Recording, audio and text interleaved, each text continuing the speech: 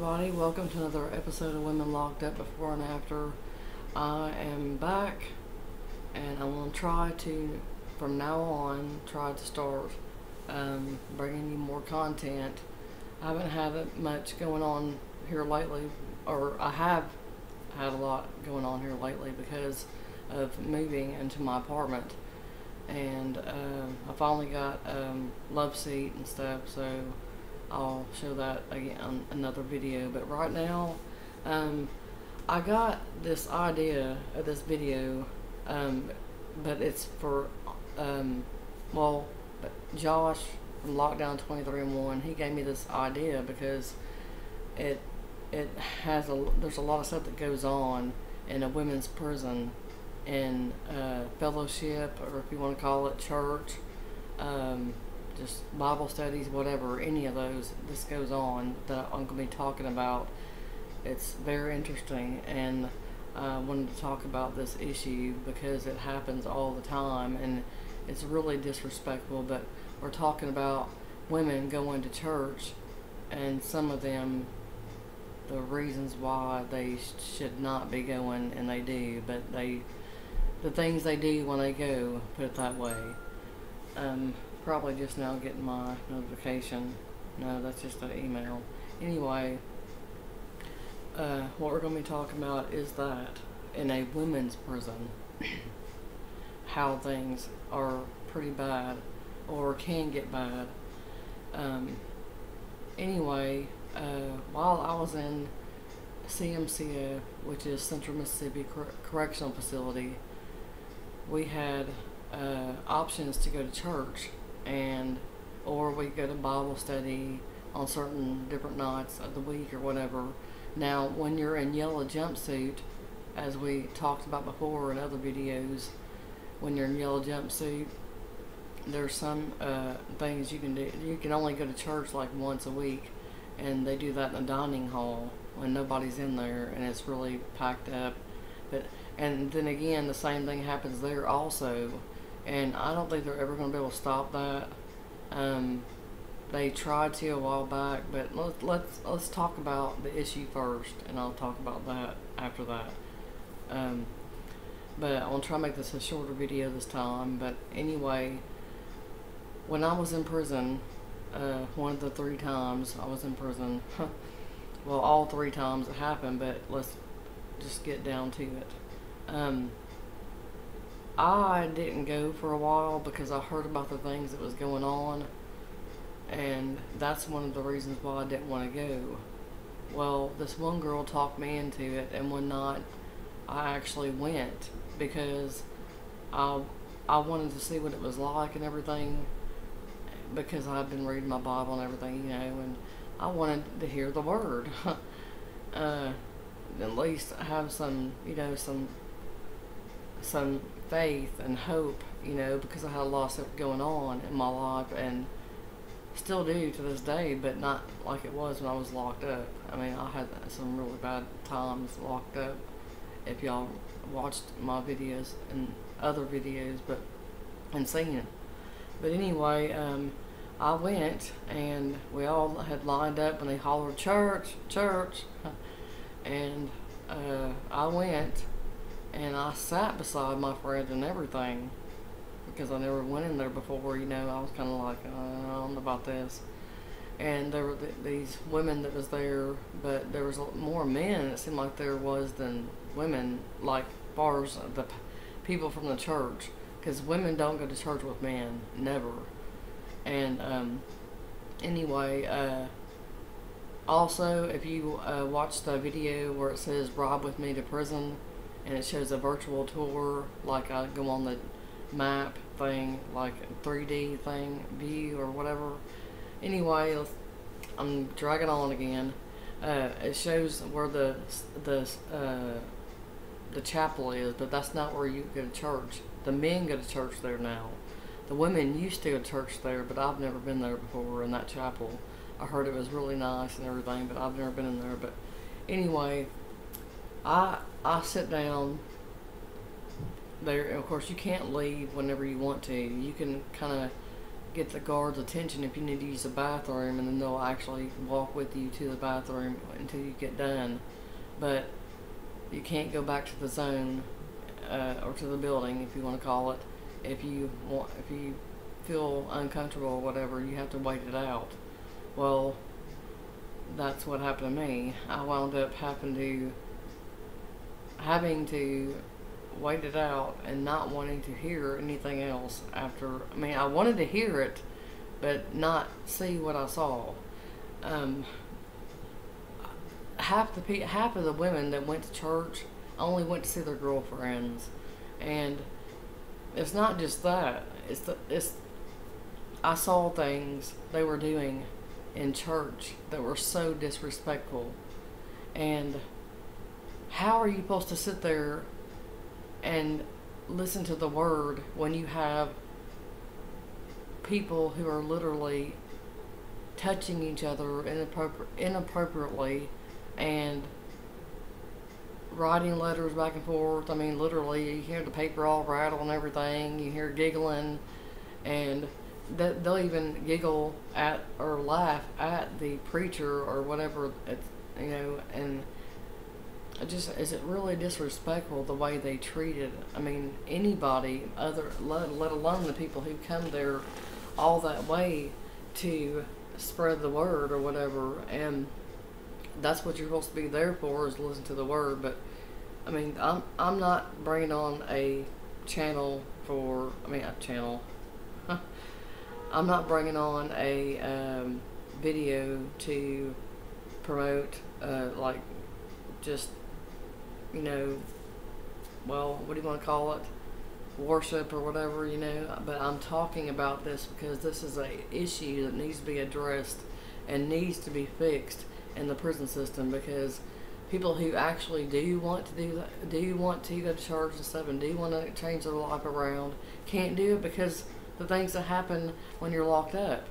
Uh, I mean, while you're in there and see these things, I'm sure that if anybody else has been to prison and seen now in our county jail here, they're kind of like that in a way. I mean, the only thing you don't see though is you don't see the only thing you'll see is eye contact with females.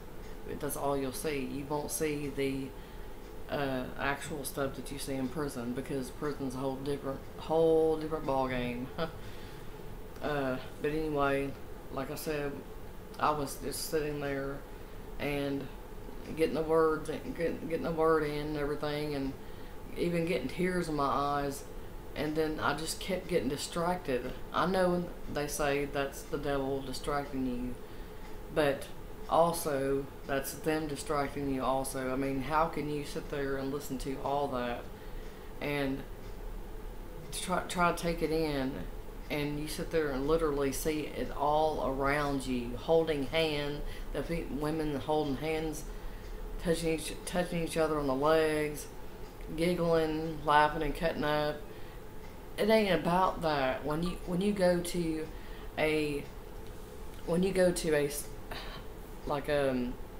let's see what would you call that like a certain fellowship or anything like that is what I'm trying to say. I mean, just anything, anything to do with church whatsoever. I'm sorry, my dad's texting me about his vehicle. We've been using it to um, move our stuff, move my stuff in and out, or not in and out, but anyway, uh, yes, these things have to quit. I mean, nobody can literally get their get what they need out of church because of these things that are happening and they're getting worse. I mean, people are only going to church for those reasons. I mean, there's a, a what Muslim Muslim service there are um, okay. There's there's not just it's not just black Muslims in in uh, prison now. There's black Muslims.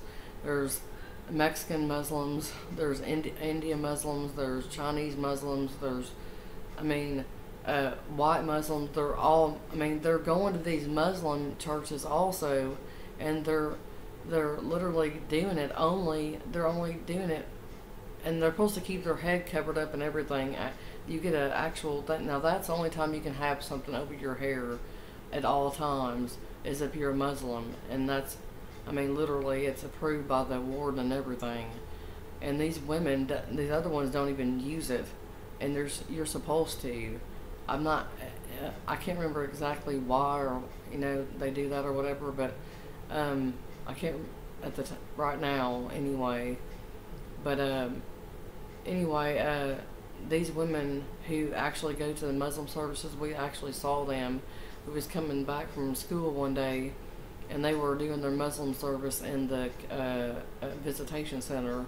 When we were coming in to do our strip search, we we got strip search going to chur- uh, going to church, going out of church, going to school, coming back from school. I mean, we all we kept getting that over and over again because there were so many drugs and everything coming in and out of the prison, and it was still going on till the day I left. I mean, they just kept on having the shakes down, shakedowns and everything. But um, anyway, uh, when we was there in that in that line, when they was doing Muslim service, I saw two or three girls that literally must have just signed up for it because they wasn't Muslims three days before that, but they were in there, and I, me and this two girls were talking about it. We sit there literally saw. I mean, you can't not miss it. It's like right in your face. The girl had her uh, hand on another girl's leg, rubbing it and going trying to go up her leg, and I was like, really? I mean why do people? You can't do this now. I mean, really? I mean, I mean, I understand people's got their own things, and you you say, you know, yeah, you let it go when you're in prison. You have to let it go. I mean, you're not just gonna walk up to somebody and say, hey, you need to stop doing that. That's disrespectful. I mean, it'd be nice if you could say something like that, but I mean, let's get real. It's prison. You can't do that. But anyway. Because if you did, it'd be a big old, big scene, a big, a whole lot of mess happening. But I just wanted to bring the subject up because it's a really big thing, especially in women's prisons. And I want to thank you too, Josh, for giving me the idea of this.